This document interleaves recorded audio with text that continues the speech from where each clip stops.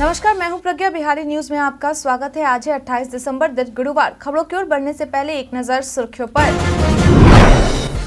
बिहार का पहला water sports zone सैलानियों के लिए तैयार। प्रखंड स्तरीय खेती बाड़ी कृषि क्लिनिक की स्थापना हेतु आवेदन। ऐसे ऑनलाइन देखे थाने में दर्ज एफआईआर की स्थिति। सहारा रिफंड पोर्टल पर आवेदन करने के बाद भी नहीं आया पैसा तो करे ये काम। के राहुल ने की सचिन की बराबरी और तोड़ा धोनी का तेरह साल पुराना रिकॉर्ड। अब चले बढ़ते हैं बिहार के अब तक की 25 बड़ी खबरों की ओर विस्तार से। एसएससी जीडी कांस्टेबल के छब्बीस हज़ार ऐसी ज़्यादा पदों के लिए आवेदन करने की अंतिम तारीख नज़दीक स्टाफ सिलेक्शन कमीशन ने जीडी कांस्टेबल के छब्बीस हज़ार ऐसी ज़्यादा छब्बीस हज़ार चार सौ सोलह पदों पर भर्ती निकाली है। ऐसे में वे लोग जो उसके लिए आवेदन करना चाहते हैं, लेकिन अब तक नहीं कर पाए हैं तो बता दें कि आपके पास आवेदन करने के लिए ज़्यादा समय नहीं बचा है। इसके लिए आवेदन करने की अंतिम तारीख इकतीस दिसंबर 2023 तक ही निर्धारित की गई है। वहीं फ़ीस पेमेंट करने के लिए अंतिम तारीख एक जनवरी 2024 तक निर्धारित की गई है। ऐसे में आवेदन करने के लिए अभ्यर्थी एस एस सी पर जाकर ऑनलाइन तरीके से अपना आवेदन कर सकते हैं। इसके लिए अगर शैक्षणिक योग्यता की बात करें तो अभ्यर्थी को किसी मान्यता प्राप्त बोर्ड से दसवीं पास होना चाहिए और उसकी उम्र 18 से 23 साल तक होनी चाहिए। इससे जुड़ी अधिक जानकारी के लिए एक बार जारी किए गए नोटिफिकेशन को ज़रूर देख लें।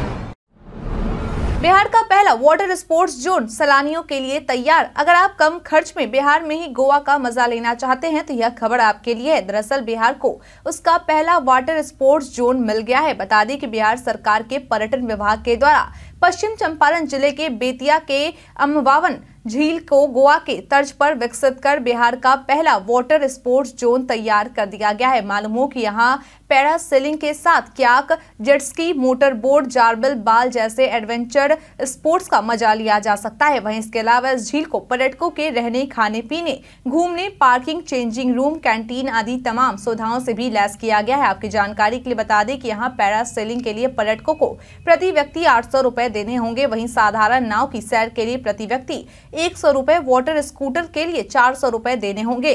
इस बारे में वाटर स्पोर्ट्स जोन का कैप्टन के द्वारा जानकारी देते हुए बताया गया कि यहाँ सुरक्षा का भी ख्याल रखा गया है। यहाँ काम करने वाले सभी कर्मी प्रशिक्षित हैं। बिहारी पहचान में आज हम बात करेंगे धरनी दास के बारे में। धरनी दास एक रामानंदी संत और भोजपुरी कवि थे, जिन्होंने भोजपुरी साहित्य के विकास में महत्वपूर्ण योगदान दिया है। वह कायस्थ परिवार से थे और बादशाह औरंगज़ेब के समकालीन थे। उनके अनुयायियों को धरनी दासी कहा जाता है। सोलह ईस्वी में वह रामानंद के अनुयायी बन गए, जो वैष्णव धर्म के प्रचारक थे। जिन दो घटनाओं के कारण उन्हें सांसारिक जीवन छोड़कर भिक्षु बनना पड़ा, उनमें से एक उनके पिता की मृत्यु थी और दूसरी मुगल सम्राट शाहजहां की मृत्यु थी। उन्होंने चरणदास नामक संत से दीक्षा ली और फिर विनोदानंद के शिष्य बन गए। सदानंद और करुणा निधान उनके दो उल्लेखनीय शिष्य थे। अपने जीवन काल में उन्होंने एकमा के पास पारस मठ, भटनी के पास सहनम मठ जैसे कई मठों की स्थापना की, जहाँ हर साल उनसे और उनके अनुयायियों सदानंद और शिवानंद से जुड़ा एक मेला लगता है। उन्होंने मांझी में एक मठ की भी स्थापना की। उनके धार्मिक विचार, मूर्ति पूजा और अंधविश्वास के विरुद्ध थे। उन्होंने तीन पुस्तकें, प्रेम प्रकाश और शब्द प्रकाश भी लिखी, जो भोजपुरी और ब्रज भाषा में थी, और तीसरी आलिफ थी, जो फारसी में थी। प्रखंड स्तरीय खेती बाड़ी कृषि क्लिनिक की स्थापना हेतु आवेदन। अगर आप भी प्रखंड स्तरीय खेती बाड़ी कृषि क्लिनिक की स्थापना हेतु आवेदन करना चाहते हैं तो यह खबर आपके लिए है। बता दें किसके लिए आवेदन करने के लिए इच्छुक आवेदक को कृषि विभाग के वेब पोर्टल, जो हमारे स्क्रीन पर दिखाया जा रहा है, उस पर जाना होगा। वहीं आवेदन करने की अंतिम तारीख पंद्रह जनवरी दो हज़ार चौबीस तक निर्धारित की गई है। बता दें किसके तहत सरकार की ओर से वित्तीय सहायता के रूप में स्थापना हेतु कुल अनुमानित लागत पाँच लाख रूपए का चालीस प्रतिशत और अधिकतम दो लाख रूपए की राशि दी जाएगी तथा लागत की शेष राशि का वहन आवेदक द्वारा स्वयं किया जाएगा। मालूम हो कि सहायता राशि का भुगतान दो किस्तों में समान रूप से किया जाएगा जिसमें प्रथम किस्त का भुगतान खेती बाड़ी कृषि क्लिनिक के संचालन हेतु सेवा प्रदाता द्वारा सभी उपकरण, यंत्र के क्रय के बाद सहायक निदेशक, पौधा संरक्षण के भौतिक सत्यापन उपरांत तथा दूसरा किस्त, कृषि क्लिनिक के संचालन शुरू होने के उपरांत सहायक निदेशक पौधा संरक्षण के द्वारा निर्गत प्रमाण पत्र के आलोक में किया जाएगा। वही सहायता का लाभ लेने के लिए आवेदक, कृषि स्नातक, कृषि व्यवसाय प्रबंधन स्नातक तथा तथा राज्य केंद्रीय विश्वविद्यालय या किसी अन्य विश्वविद्यालय से कृषि उद्यान में स्नातक जो आईसीएआर या यूजीसी द्वारा मान्यता प्राप्त हो, इसके अतिरिक्त उद्यान में अनुभव प्राप्त डिप्लोमाधारी कृषि विषय में इंटरमीडिएट तथा रसायन विज्ञान, वनस्पति विज्ञान, जीव विज्ञान में स्नातक पास बता दें कि चयन में कृषि स्नातक में अधिकतम प्रतिशत ग्रेड प्वाइंट प्राप्त करने वाले आवेदकों को प्राथमिकता दी जाएगी। पटना से सोनपुर के बीच गंगा नदी पर बनेगा छह लेन ब्रिज। बीते दिन बुधवार को देश के प्रधानमंत्री नरेंद्र मोदी के नेतृत्व में हुई कैबिनेट की बैठक में बिहार की राजधानी पटना से सोनपुर के इलाके में आवागमन को बेहतर बनाने की दिशा में बिहार में गंगा नदी पर एक सिक्स लेन ब्रिज बनाने को कैबिनेट की ओर से अपनी मंजूरी दे दी गई है। ऐसे में अब गंगा नदी पर पटना के दीघा से उत्तर दिशा में सोनपुर को यह प्रस्तावित पुल जोड़ेगा। आपकी जानकारी के लिए बता दी की पटना और सोनपुर के बीच बनने वाली इस सिक्स लेन पुल पर खर्च होने वाली अनुमानित लागत तीन हज़ार करोड़ रुपए निर्धारित की गई है। वही इस ब्रिज को तैयार करने के लिए 42 महीने का समय निर्धारित किया गया है। मालूम हो कि यह एक केबल ब्रिज होगा, जिस पर गाड़ियों का परिचालन होगा और पुल के नीचे से गंगा नदी में नाव और जहाज़ का आगमन होगा। गौरतलब है की अगले चार साल में बिहार में गंगा नदी पर अठारह पुल हो जाएँगे। ऐसे ऑनलाइन देखे, थाने में दर्ज एफआईआर की स्थिति। अगर आप भी उन लोगों में से हैं जिनके द्वारा किसी थाने में एफआईआर दर्ज करवाया गया है और आप उस एफआईआर की स्थिति जानना चाहते हैं, लेकिन आप यह काम घर बैठे करना चाहते हैं तो यह खबर आपके लिए है। बता दें कि बिहार सरकार के द्वारा सभी कार्यो को धीरे धीरे ऑनलाइन किया जा रहा है ताकि लोगों को और भी सुविधा मुहैया कराई जा सके। इसी कड़ी में बिहार सरकार के गृह विभाग के द्वारा आईपीआरडी बिहार के तहत एक पोस्ट शेयर कर यह जानकारी दी गई है की थाने में दर्ज कराई गई एफआईआर की स्थिति को ऑनलाइन कैसे देखा जा सकता है। इसके लिए आपको कुछ स्टेप्स फॉलो करने होंगे। बता दें कि इसके लिए सबसे पहले आपको H T T P S colon slash slash police dot Bihar dot G O V dot in slash पर लॉग इन करना होगा। इसके बाद आपको स्क्रीन पर दिख रहे नागरिक सेवाएँ पर क्लिक करना होगा। इसके बाद एफ़ आई आर देखिए पर क्लिक करें। डिस्ट्रिक्ट और पुलिस स्टेशन का चुनाव करें। Complaint number F I R number accused number के माध्यम से सर्च करें और अपने एफ़ आई आर की स्थिति देख लें। लीची के छिलके और बीज से बनेगी दवाई। राष्ट्रीय लीची अनुसंधान केंद्र के द्वारा लीची के छिलके और बीज से दवा बनाने के लिए शोध का कार्य किया जा रहा है। बता दें इस कार्य को करने के लिए अनुसंधान केंद्र के एक विज्ञानी अंकित कुमार को आईआईटी खड़गपुर भेजा गया है ताकि वहाँ वो तीन माह तक इस बारे में प्रशिक्षण ले सके। इस दौरान वे प्रशिक्षण में यह जानने की कोशिश करेंगे की लीची के केमिकल का पता लगाकर कैसे उसे स्टोर किया जाए, बीज व छिलके का प्रसंस्करण कैसे किया जाए। इस बारे में केंद्र के निदेशक डॉक्टर विकास दास के द्वारा जानकारी देते हुए बताया गया कि अगर यह शोध सफल हो जाता है तो लीची की खेती करने वाले किसानों को काफ़ी लाभ मिलेगा। वही शोध में सफलता मिलने से लीची के छिलके और बीज से बने दवाई की डिमांड बिहार के साथ साथ देश के अन्य राज्यों में भी बढ़ सकती है। उन्होंने बताया कि शोध के बाद ही यह पता लगाया जा सकता है कि बीज और छिलके में क्या क्या केमिकल है और इनसे कौन कौन सी दवाएँ बनाई जा सकती है। सभी जिलों में स्थापित होगी सब्ज़ी यूनियन। बिहार सरकार के द्वारा किसानों के हितों के लिए कई योजनाएँ और कई लाभकारी कदम उठाए जाते हैं। इसी कड़ी में अब बिहार सरकार के द्वारा राज्य के सभी जिलों में सब्ज़ी यूनियन स्थापित की जाएगी। बता दें कि इस बात की जानकारी सहकारिता मंत्री डॉक्टर सुरेंद्र यादव के द्वारा दी गई है। दरअसल उन्होंने मीडिया से बात करते हुए कहा कि बिहार सरकार के द्वारा किसानों की बेहतरी के लिए राज्य के सभी जिलों में सब्ज़ी यूनियन की स्थापना की जाएगी, जिससे किसानों को सीधा लाभ मिलेगा और साथ ही सब्ज़ी का निर्यात दूसरे प्रदेशों में करने में भी सुविधा मिलेगी। इसके साथ ही उन्होंने यह भी कहा कि सरकार के द्वारा 15 फरवरी तक 45 लाख मीट्रिक टन धान अधिप्राप्ति का लक्ष्य रखा गया है और इसके लिए लगातार काम किया जा रहा है। इसके अलावा सभी पैक्सों को व्यवसायिक गतिविधियों जैसे petrol pump, gas agency ethanol plant, खाद, बीज की दुकान, दवाई की दुकानें खोलने की दिशा में भी कार्य हो रहे हैं। पैक्सों में सहकारी बैंक की स्थापना संबंधी प्रयास चल रहे हैं। सहारा रिफंड पोर्टल पर आवेदन करने के बाद भी नहीं आया पैसा तो करे ये काम।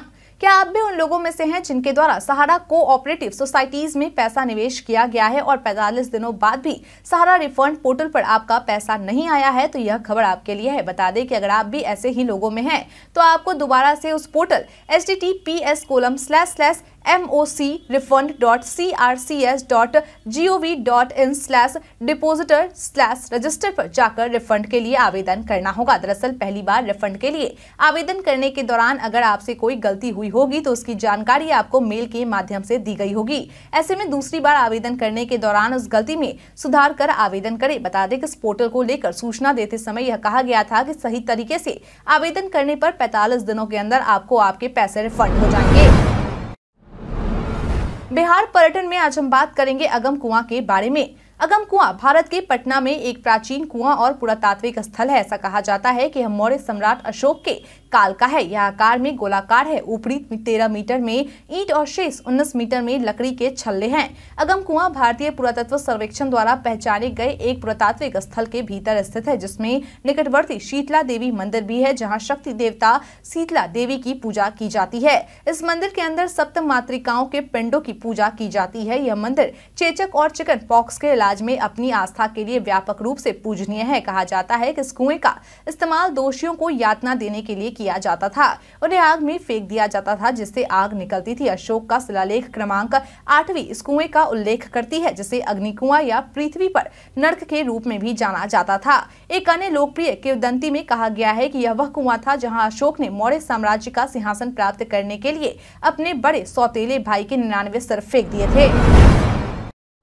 बिहार में आज यहाँ लग रहा रोज़गार मेला। अगर आप रोज़गार की तलाश में है तो यह खबर आपके लिए है। बता दें कि आज यानी कि 28 दिसंबर को दरभंगा में रोज़गार मेला का आयोजन किया जाने वाला है। इस बारे में विस्तृत रूप से औद्योगिक प्रशिक्षण संस्थान दरभंगा के प्राचार्य आर के ठाकुर के द्वारा जानकारी देते हुए बताया गया की आज आयोजित होने वाला यह रोज़गार मेला महिला औद्योगिक प्रशिक्षण संस्थान दरभंगा परिसर में सुबह दस बजे से लगने वाला है, जिसमें fitter, welder, electrician, machinist, turner, diesel mechanic, tractor mechanic, welder, tool, die painter, motor mechanic, trade में रोज़गार पाने का अवसर मिलेगा। वहीं इस रोज़गार मेला में दसवीं पास के साथ साथ आईटीआई पास पुरुष उम्मीदवार भाग ले सकते हैं। वहीं उम्मीदवारों की आयु 18 से 24 साल के बीच होनी चाहिए। उन्होंने कहा कि उम्मीदवारों का चयन इंटरव्यू और लिखित परीक्षा के आधार पर होगा। बौद्ध धर्म का कालचक्र पूजा उनतीस से शुरू, दस भाषा में होगा प्रसारित।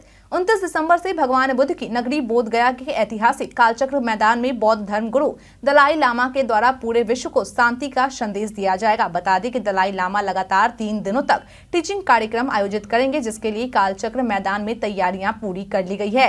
इस टीचिंग कार्यक्रम में साठ हज़ार बौद्ध श्रद्धालुओं के शामिल होने की संभावना जताई गई है। वही इस कार्यक्रम को दस से अधिक भाषाओं में प्रसारित किया जाना है। बता दें, कालचक्र मैदान में पूजा पंडाल में प्रवेश के लिए चौदह द्वार बनाए गए हैं। वही पंडाल के गेट और परिसर में भारी मात्रा में पुलिस बल की भी तैनाती की जाएगी। प्रवेश द्वार पर मेटल डिटेक्टर लगाया गया है। इस पूजा में Japan, Bhutan, Tibet, Nepal, Myanmar, Spain, रूस, लाओस, श्रीलंका के अलावा कई देशों के बौद्ध श्रद्धालु और पर्यटक भाग लेते हैं। जनवरी में स्टेनोग्राफर भर्ती की कौशल परीक्षा बिहार में जनवरी में 1207 पदों के लिए स्टेनोग्राफर भर्ती कौशल परीक्षा आयोजित की जाने वाली है, जिसमें ग्रेड सी और ग्रेड डी की परीक्षा होगी। इसके लिए एडमिट कार्ड जारी कर दिया गया है। आपकी जानकारी के लिए बता दें कि यह परीक्षा दो पालियों में आयोजित होने वाली है, जिसमें से पहली पाली की परीक्षा की शुरुआत ग्यारह अट्ठाईस बजे से होगी तो वही दूसरी पाली की परीक्षा दोपहर डेढ़ बजे से होगी।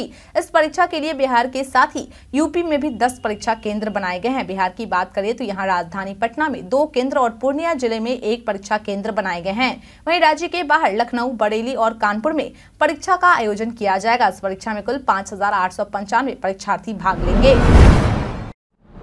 जाने क्यों रुपए के अंदर लगा होता है एक धागा? आपने गौर किया होगा कि रुपया करेंसी वाले नोटों के बीच एक धागा लगा होता है, लेकिन क्या आपको इसके पीछे का कारण पता है कि आखिर यह धागा क्यों लगाया गया है? बता दें कि यह खास तरीके का धागा होता है, जो कि खास तरीके से बनता है और इसकी मदद से असली नकली नोट की पहचान की जाती है। बता दें कि अगर आप गौर से देखेंगे तो पाँच सौ और दो हज़ार के नोटों के अंदर जो चमकीला मेटालिक धागा होता है, उसमें कुछ कोड भी उभरा हुआ होता है।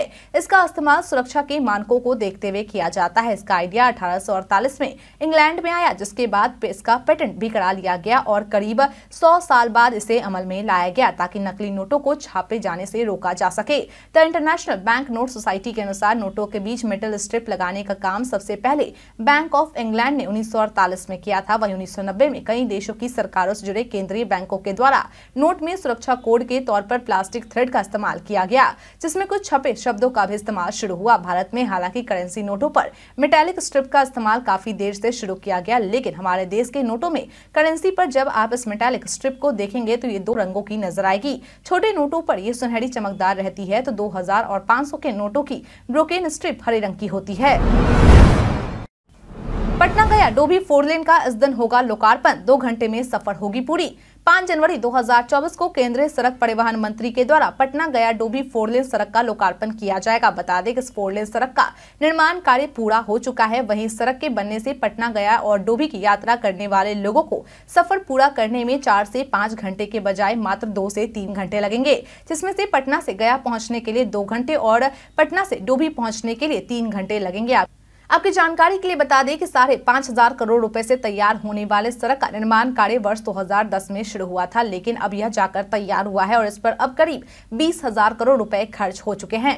बता दें कि सड़क से नौ बाईपास को जोड़ा गया है। इस फोरलेन सड़क के निर्माण कार्य में तेज़ी तबाही जब इस पर पटना उच्च न्यायालय के द्वारा संज्ञान लिया गया। वही दो हज़ार बीस में पटना हाईकोर्ट के निर्देश पर नई कंपनी को सौंपा गया था और तब इसका निर्माण कार्य पूरा करने का लक्ष्य वर्ष दो हज़ार बाईस तक रखा गया था।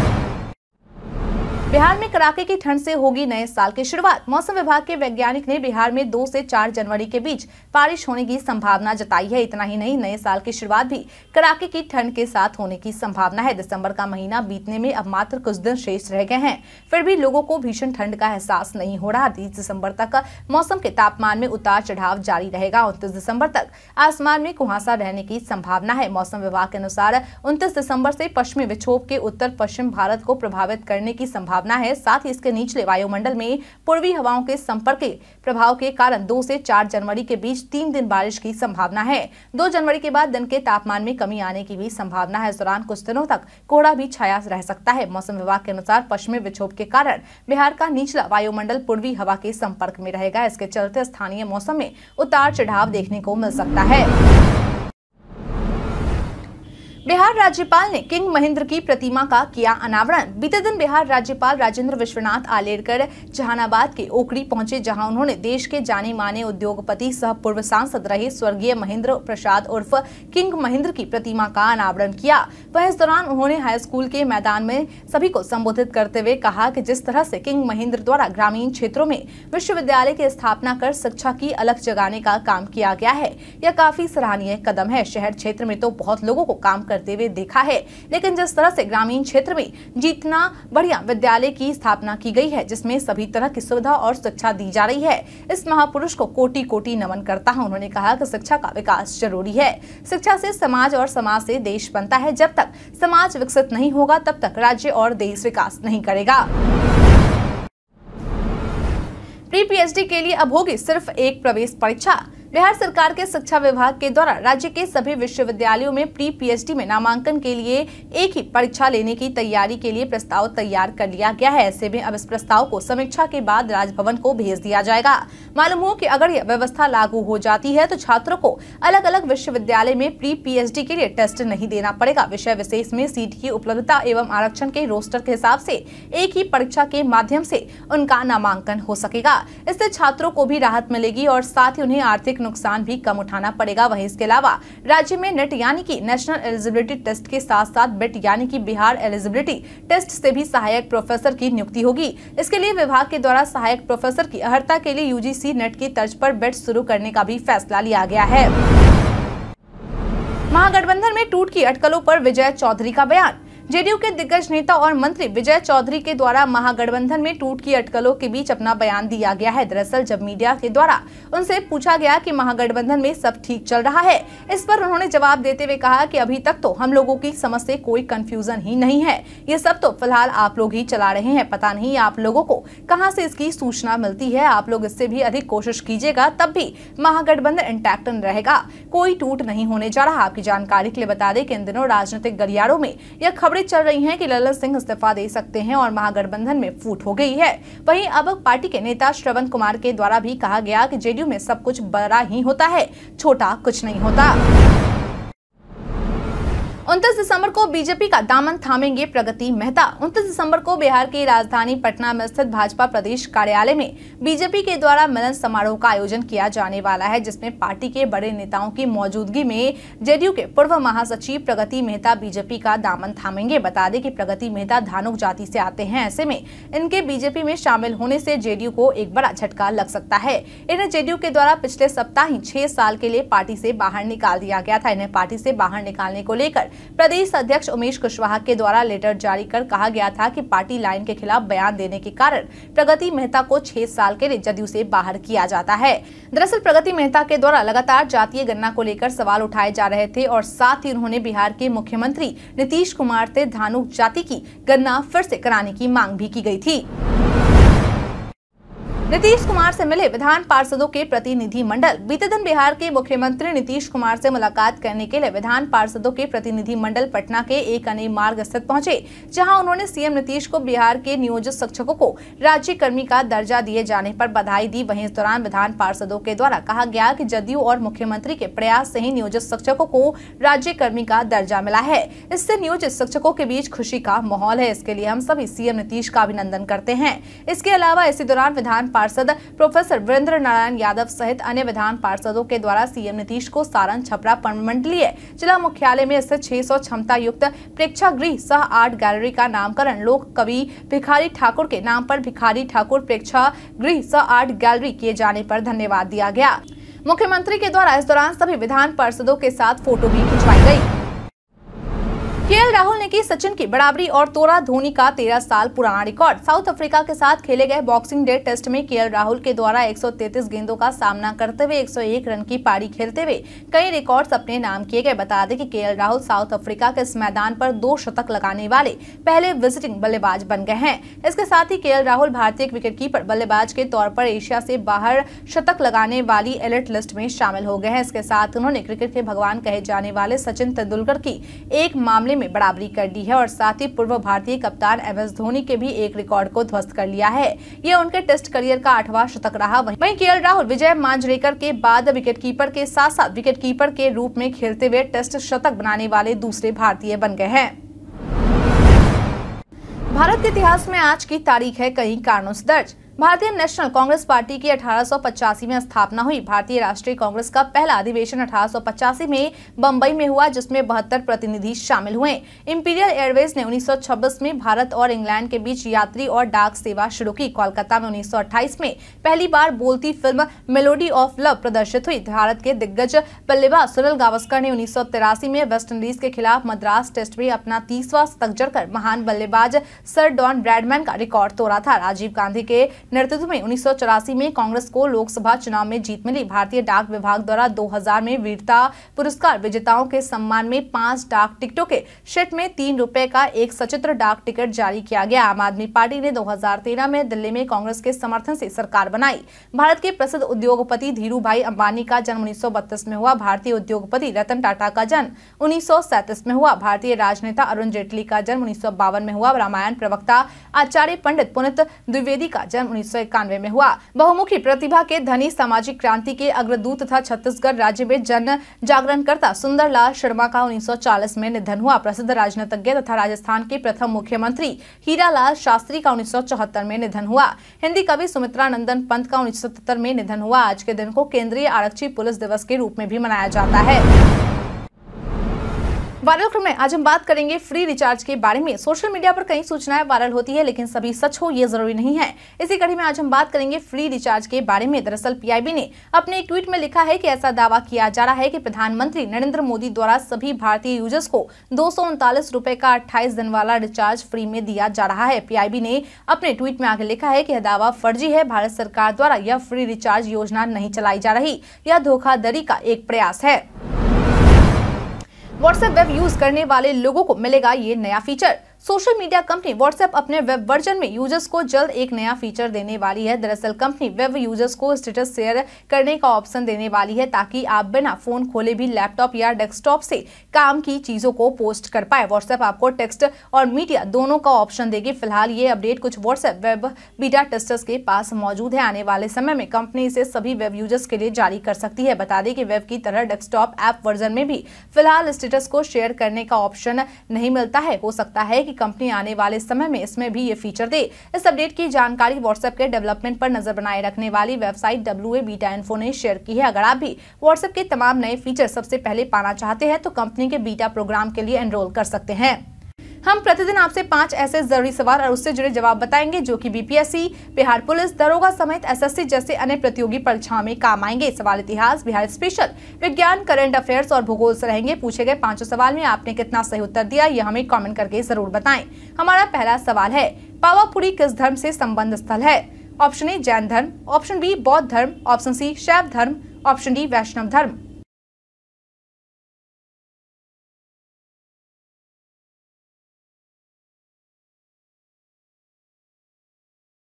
इसका सही उत्तर है ऑप्शन ए, जैन धर्म।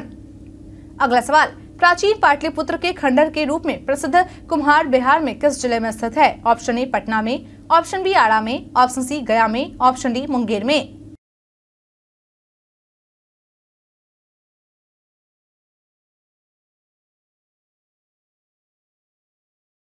इसका सही उत्तर है ऑप्शन ए, पटना में। अगला सवाल, मधुबनी चित्रकला का संबंध किस राज्य से है? Option A, Uttar Pradesh option B Bihar option C Jharkhand option D Odisha.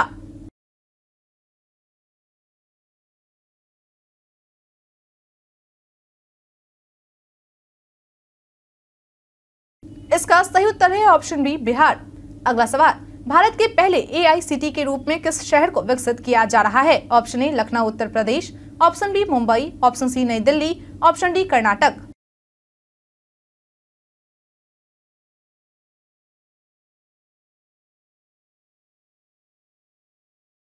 इसका सही उत्तर है ऑप्शन ए, लखनऊ, उत्तर प्रदेश। अगला सवाल, केंद्रीय कैबिनेट ने किस देश में हाल ही में भारत के महावाणिज्य दूतावास खोलने को मंजूरी दी है? Option A, Australia, option B, Brazil, option C, चीन, ऑप्शन डी, न्यूजीलैंड।